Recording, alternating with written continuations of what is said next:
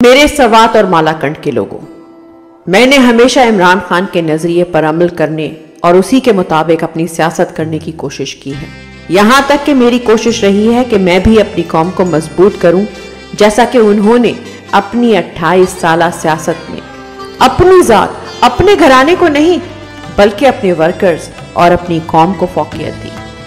और मेरी ये कोशिश रही है कि मैं अपने वर्कर्स को वो इज़्ज़त दूँ जो इमरान खान के साथ उनकी हकीकी आज़ादी की जदोजहद में खड़े होने की वजह से उनका हक है। मैंने सवाद की सियासत में जो पिछले दस साल गुजारे हैं, वो मेरे लिए एक जंग की मानंद थे। मेरे लोग बेघर हो गए। उनके घर और कारोबार तबाह कर दिए गए।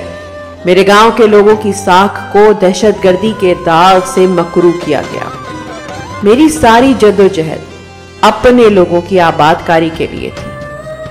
पहले पाँच साल हमने दहशतगर्दी की जंग में तबाह स्कूल, अस्पतालों की बहाली और अपने लोगों की आबादकारी पर तवज्जा दी। अपने लोगों को सेहत और तालीम की बुनियादी सहूलत फराहम की। अपने गाँव को बाकी मुल्क के साथ बराबरी पर ले आए।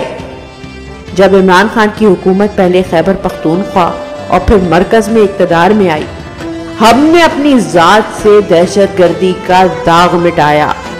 हमने दहशतगर्दी से सियाहत की तरफ़ रुख किया। कॉलेजेस और यूनिवर्सिटियाँ अपने लोगों के लिए तामीर किए।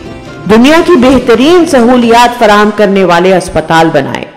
बुनियादी इंसानी जरूरियात, जैसे कि गैस और बिजली फराहम की। मेरे ये पिछले दस साल आपकी आबादकारी और फिर बहाली पे गुजरे। मेरी कौन गवाह है कि मैंने हर फोरम पे आपके लिए आवाज़ उठाई है। चाहे वो सहरा में पड़ा मेरी कौम का मजदूर था, या दहशतगर्दी के इल्ज़ाम में कैद किया गया मेरे गाँव का गरीब, चाहे वो कोविड की वजह से बाहर फंसे मेरे मुल्क के मुसाफिर थे, या फिर सैलाब की मारी मेरी माएँ और बहनें। मैंने अपनी बसात से बढ़कर उनकी मदद के लिए कोशिश की, और अल्हम्दुलिल्लाह इस एतमाद का पूरा हक अदा किया, जो उन्होंने मुझ पर किया था। और फिर उसके बाद, जब हमारी हुकूमत गिराई गई। और आलमी ताकतों के पैरोकार हम पर मुसलत किए गए। तो उन लोगों ने दोबारा वही जंग हम पर मुसलत करने का फैसला किया। मेरी कौन गवाह है कि मैंने अपनी जान खतरे में डाली, मगर आपकी बेबसी, बेइज्जती और बेघरी का तमाशा देखने से मुकम्मल इनकार किया और आपके हक के लिए खड़ा हो गया। आज मेरी बेघरी को एक साल मुकम्मल हो चुका है। मैं एक जगह से दूसरी जगह दर बदर हो रहा हूँ। मगर मैंने आपकी बेघरी और बेजती को कबूल नहीं किया, क्योंकि आपका मुझ पर एक यकीन था और आपने मुझे अपना लीडर माना था। आप मेरी ज़िम्मेदारी हैं और आपकी हिफाजत करना मेरा फ़र्ज़ है। मैं ये सब कुछ इसलिए कर सका क्योंकि मेरा लीडर इमरान खान था।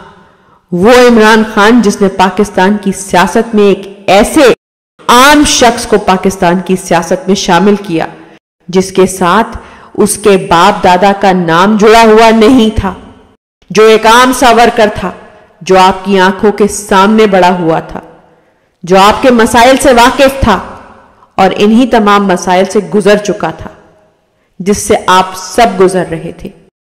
इमरान खान ने उसको वो ताकत दी, जिसकी वजह से वो आपके हुकूक के लिए लड़ सका। इमरान खान ने उसको वो मौके फराम किए जिसकी वजह से वो उन मुजरिमों को सजा दिलवा सके। वो इमरान खान। आज बेगुना इमरान को जेल में रहे छह माह गुजर चुके हैं। और वो इसलिए कि वो आपके सर का सौदा करने को तैयार नहीं। जिसने दुनिया के सबसे बड़ी ताकत को ये पैगाम पहुँचाया कि उसके लोग और उसकी कौम चंद डॉलरों के एवज फरोख्त नहीं होंगे। आज आप सब पर यह फ़र्ज़ है कि आप इमरान खान के साथ खड़े हो। उस इमरान खान के लिए जद्दोजहद करें जिसने आपके बच्चों के रोशन मुस्तकबिल के लिए अपना घर कुर्बान कर दिया। वो जिसने आपके लिए गोलियाँ खाई जेल गया, मगर आपका सर शर्म से झुकने नहीं दिया। मेरे लोगों, आज आप और मुझ पर फ़र्ज़ है कि हम खुलकर इमरान खान और उसके नज़रिए की हिमायत करें। हमारी कौम पे यह फ़र्ज़ है कि हम सब उसकी मदद करें जिसने हमारी इज़्ज़त रखी, जिसकी वजह से हम आज अपने घरों में अमन के साथ रह रहे हैं। मुझे उम्मीद है कि आप उस अजीम शख्स के सामने मेरा सर शर्म से झुकने नहीं देंगे और हमेशा की तरह उसके साथ डट कर खड़े रहेंगे। अल्लाह आप सबको अपनी अमान में रखे। मुराद सिंह